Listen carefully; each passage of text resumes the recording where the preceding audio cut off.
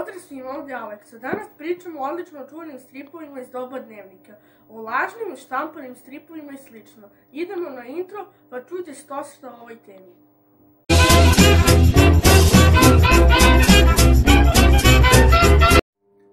Moram još edukativnih klipova da uradim kao što je ovaj.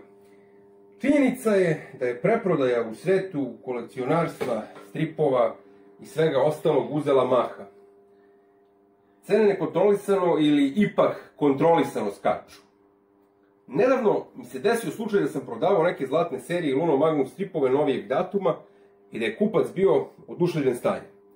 On je poznavalac i to je sve ok, ali iz njegove okoline se pojavila sumnja u originalnost tih stripova. Ljudi, jako bitno, gledat ću da budem kratak. Na aukcijama, bilo gde ima svega, varanja, veštačkog podizanja cena, svega pomalo.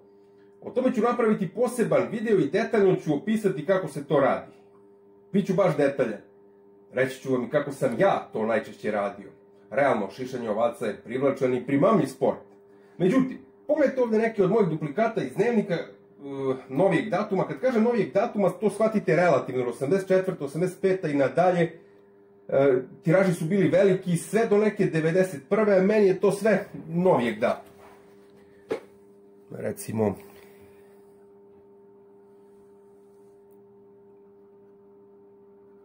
kada vidite ovako očuvane stripove, surovi glanceri, kao da čujete glas komentatora Mladena Delića koji kaže Ljudi moji, pa da li je ovo moguće ludnica? Šta je ovo? Možda pogledamo još malo.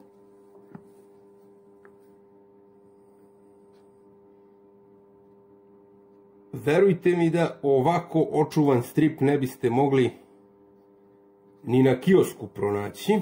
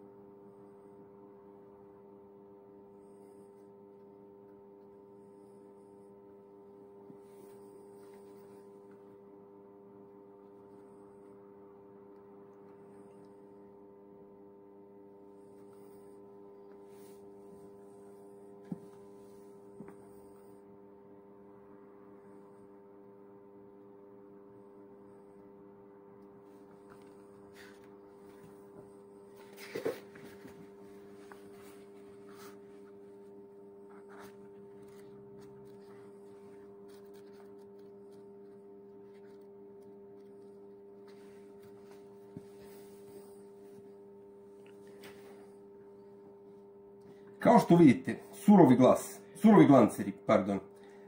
A šta je point ove priče? Govorio sam o piratima i sad tu temu da ogulim do koske hoću, ali nakon 2000 subscribera kao što sam i rekao i brzo će to doći. To je razlog više da zapratite naš kanal. Reći ću vam tada da li je moguće napraviti savršen falsifikat zlatne serije Luno Magnum stripa. Tada ali za trenutak pretpostavimo da se može napraviti savršen falsifikat za SLMS stripa.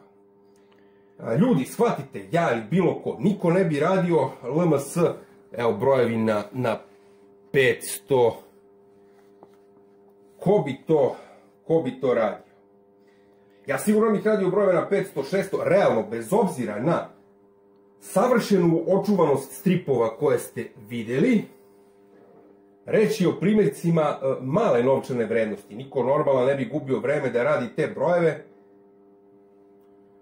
koji su svoje vremeno urađeni baš u velikom tiražu. Znači, što se, to znači da kupci većih brojeva Luno Magnum stripa 400 pa na gore, zlatne serije 500 na gore, mogu biti mirni. To niko nikada nije ni pomišljao da radi. I to je moj, moja poruka vama. Ako ste iole poznavalac, jasno vam je i samima. E sad, verovali vi ili ne, to važi čak i za starije ljubitelje stripova, još jedna poruka za sve je da glans primjerci postoje. Ima. E sad, oni niski brojevi u zadnje vreme su baš poskupeli, a tu je tek zanimljivo. Ali svega ima. Najčešće kod ozbiljnih kolekcionara ili kod nekog kojih je negde zaboravio, zaturio, pa budu pronađeni negde baš ovako skoro u fabričkom stanju i u sreće nekog ljubitelja. Ako vam se klip svidio, obavezno ga lajkujte, subscribeujte se na naš YouTube kanal, a mi se vidimo u sledećem klipu. Pozdrav!